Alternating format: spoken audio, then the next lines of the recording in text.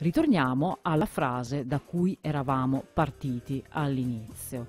Lidia mi grazia segito pudonum quod a me acceperat. Nella frase compaiono due verbi al passato. Il primo è egit, che abbiamo tradotto con mi ringraziò, gracias egit, e il secondo è acceperat, che corrisponde a aveva ricevuto ed è dunque il più che perfetto, che in italiano traduciamo col trapassato prossimo. Come in italiano, così in latino, il trapassato prossimo è un tempo relativo che si usa sempre in relazione a un'azione passata. Che cosa vuol dire in parole povere? Ragioniamo sulla frase che abbiamo appena tradotto. Vuol dire che l'azione di ricevere, aveva ricevuto, precede sempre nel passato l'azione di ringraziare, che viene dopo.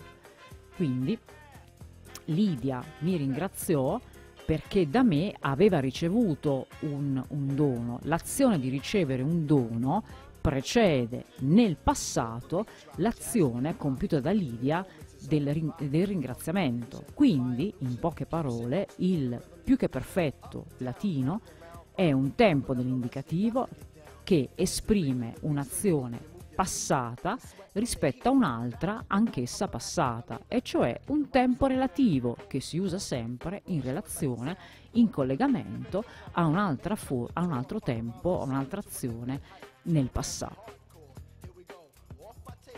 Consideriamo quest'ultimo esempio.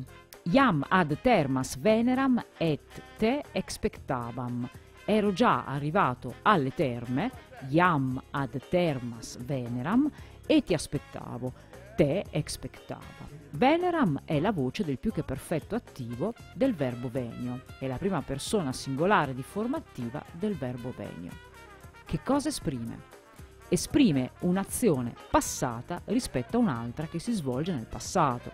L'azione di venire alle terme precede nel passato quella di aspettare. Dunque, come in italiano, anche il più che perfetto latino che corrisponde al nostro trapassato prossimo esprime un'azione passata che si è verificata prima di un'altra collocata nel passato. Quindi, concludendo, il più che perfetto latino è un tempo relativo, cioè che si usa sempre in relazione ad altre forme verbali al passato, in genere perfetto e imperfetto.